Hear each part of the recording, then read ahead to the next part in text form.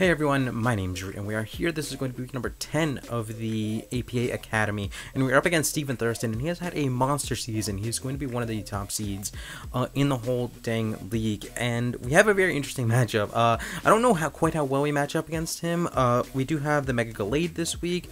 Uh, on our third and final draft, but he has some very hard checks to it, like the Palossand, like the Celesteela, um, Celesteela is a, a, bit of a softer check, but it can check me pretty darn easily, and the Mega Altaria more than anything else. But also just the Victini being around is such a huge, huge threat to me. But uh, I did want to have things like my Heatran to kind of be a check to the Victini, to kind of be a check to the um, Celesteela. And I think I match up decently well here. It's just going to be a matter of what kind of momentum I can get in the early game and how I can kind of deal with his threats. I do also have an Aromatisse, which um, I believe had uh, was a Calm Mind Aromatisse that could potentially start to do a lot of things in this matchup. It did have Calm Mind with Thunderbolt just in case the Celesteela could come in. I didn't really think that the Celesteela would be able to just come in and OHKO me like straight off the bat. So maybe if I could catch it off guard with a well timed out Thunderbolt, then that could have been something interesting. But I do have a uh, Nidoqueen, a physically defensive Nidoqueen just behind my head, uh, as well as my Gallade. The Galvantulas, uh, I don't think the Galvantula has webs. I don't think webs are going to be hugely important in this matchup. Uh, I just think that Galvantula had a pretty decent matchup here, and the Zygarde 10%, which of course is one of my all-time favorites. I just love using Zygarde 10%.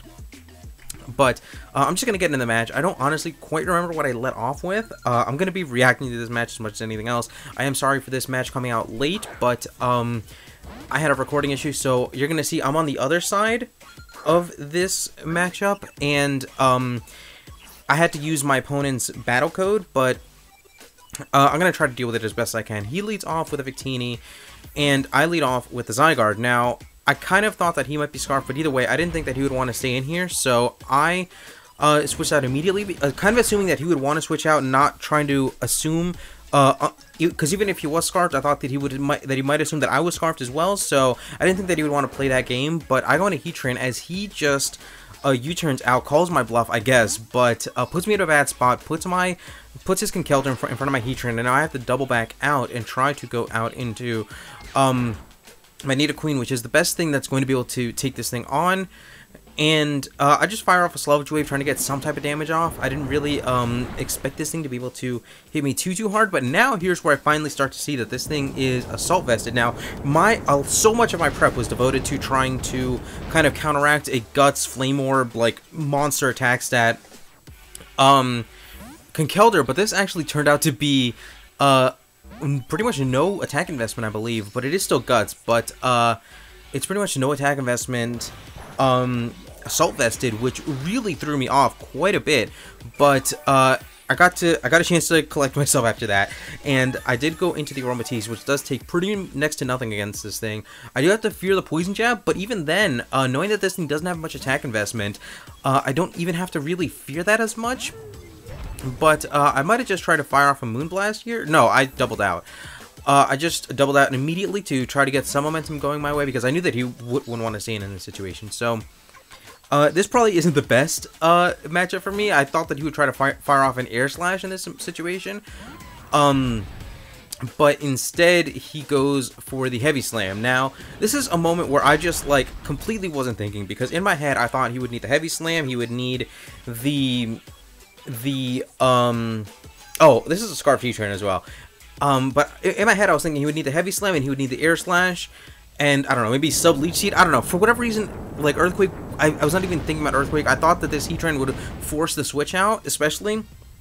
Um, I guess he would feel comfort comfortable staying in. Maybe he was um Alakabir or something to that effect, but I really didn't even expect him to stay in. So I make the super aggressive play and just stay into uh, try to set up rocks and try to force out the switch, but he just stays in. He calls me 100% on this play, and I lose my Heatran, which is some of my best checks to, like I said, the Victini and the Celesteela. But um, this, this um, Conkeldurr is going to come in and take this energy ball. He takes it perfectly fine. And this entire match, I'm going to have to play these games where I know he has the Palossand in the back, but does he go hard into Palossand on my, um, on my uh, Galvantula?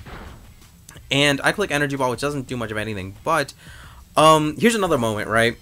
Where I bring in my my Gallade to eat up that, that knockoff, and I realized that I didn't even make my Gallade justified, and that was just another moment of me really, um, not feeling good in, in prep. I felt really flustered in this match, and that was just another moment where I just felt really flustered. I felt really behind in this match a lot, and I, I mean, I clearly don't think I was in the right headspace to kind of, like, uh, do well in this match, but, uh, that, seeing that I missed Justified on that, um, on that, uh, Gallade just kind of disappointed me in myself in that moment, but regardless, um, his Palossand was always going to be his dedicated switch in, and I thought that he wouldn't go into it right away because to try to fear the knockoff a little bit, but he goes into it, he goes hard into it, and I uh, double out into my Aromatisse, and he ends up going for the Z move. That is exactly the interaction that he wanted. He wanted me to stay in with my Gallade and get off a Z move and try to eat the knockoff, potentially.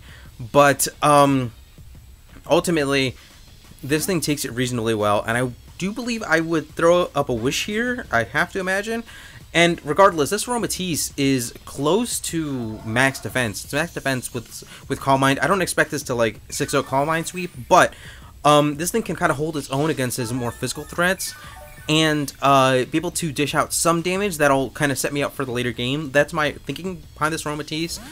But um, as soon as I throw up the wish, I feel like I have to switch out because uh, I was doing some calcs, and this thing doesn't do a whole ton of damage. Even if he did try to poison jab me, which would be the best play for him to go for, it doesn't do enough to my Nidoqueen where um, I can't just wish back up for pretty much free here. And this is going to put my my um, Nidoqueen in a position where I can try to at least switch into the Conkeldurr a little bit better, and that's what I'm going to really need for the for the uh, end game here uh, as he does go back into the Palossand. And this really surprised me because um, I thought he would be cognizant of the fact that I would want to like maybe Sludge Wave into an Ice Beam or some or Earth Power into an Ice Beam. I didn't know quite how much damage I was doing to Palossand, but I didn't think that he would want to risk the Palossand uh, that uh, early on in the match. But here's another situation where I have to make this 50-50. I have to click Energy Ball. And, and I think now he's in my head. He knows that I have to click Energy Ball, so even when uh, the Palossand is, is, is, right in front of him, he is uh, going out into the Conkeldurr.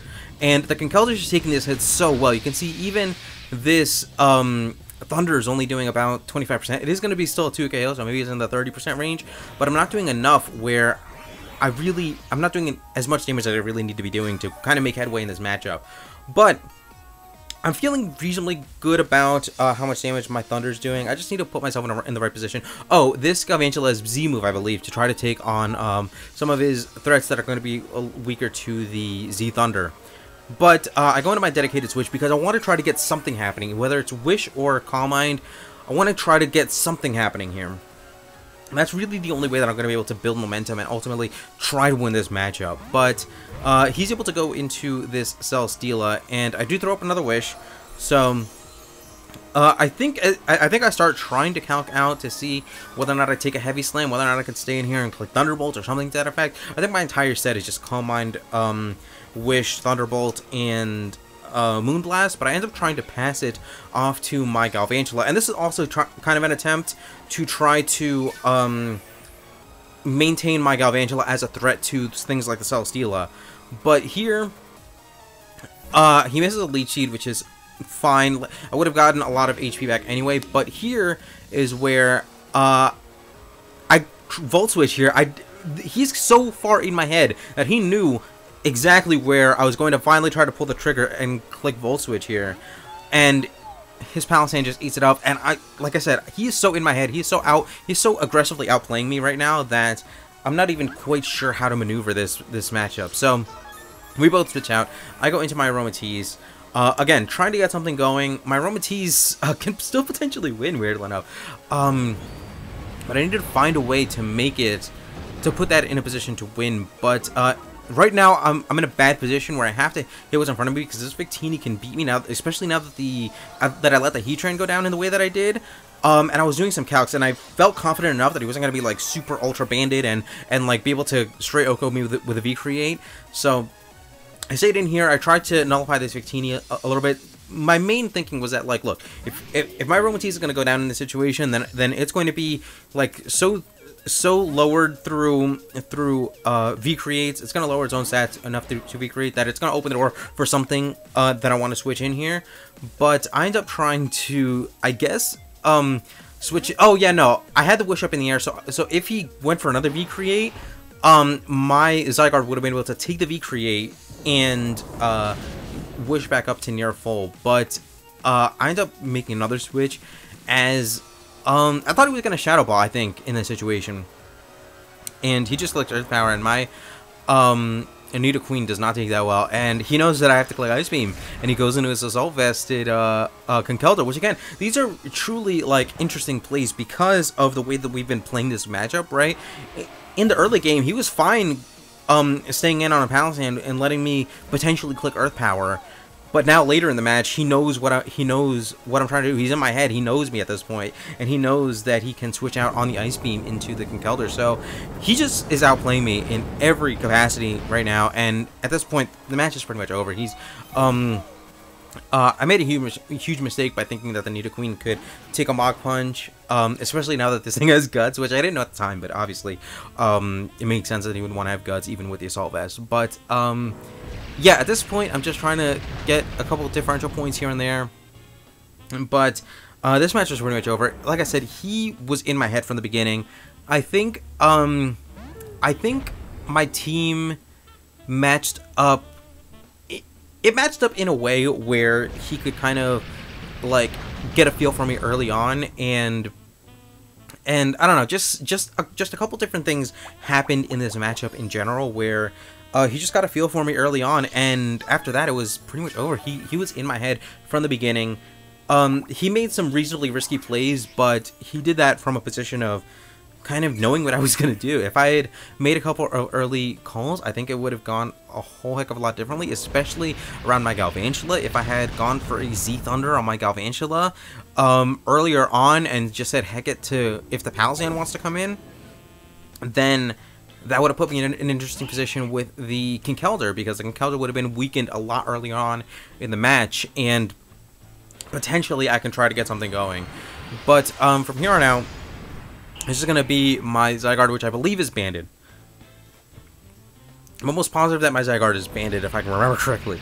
Um, and I can't really do much. I, um, after the match, I was thinking, like, oh, maybe I could switch out and, like, do the play these kind of games where I give up my my Gallade and then my uh, Zygarde can come back in at extreme speed, but he could always play around that pretty darn easily. Um, I don't think I did anything crazy badly, but I just played far too conservatively, and he played, and all of his gambles paid off for him, I think. Um, and it just came from him playing super aggressively and just calling and calling everything that I really wanted to do in this matchup here. But uh, these, these are just going to be the, the, the last few turns. I don't have anything that can uh, even hit this even hit this Altaria at this point. It's just going to be a matter of um, him clicking return a few more times and taking out the rest of my team. Uh, like I said, he just played super duper well. He called uh, everything that I wanted to do, and this is why he has such an, a ridiculous record right now. He was probably getting into everybody's heads all season long, and it really shows. And his record in in his drafting, he drafts really well, and it just puts him in the best positions to win. Um, I think if we meet each other in playoffs, obviously our teams are going to be very very different. But I think I have so many tools to bring in a playoffs um, team build that I would like to think that it that it would come out really really differently, but it's just gonna be a matter of me playing better and playing in a way that puts me in a position to win. But uh, this was a really fun match. This was the first time that I got to play him. This is my first time that I got to see how he plays and how he reacts to my my own play and my own strategy. And uh, it's going to be really, really fun for the futures uh, in an upcoming playoffs round if we get to that point. Um, we're almost certainly going to be in playoffs, but whether or not we meet up with him in the playoffs is going to go down to a whole lot of different factors. But with that, we'll be back really, really soon with uh, the final two weeks of the AP Academy, as well as uh, the final couple weeks of the MPL as well, and uh, the UBL coming up really, really soon, and more weeks of the ICBA coming up really, really soon. But with that, once again, thank you guys so much for watching. I hope you once again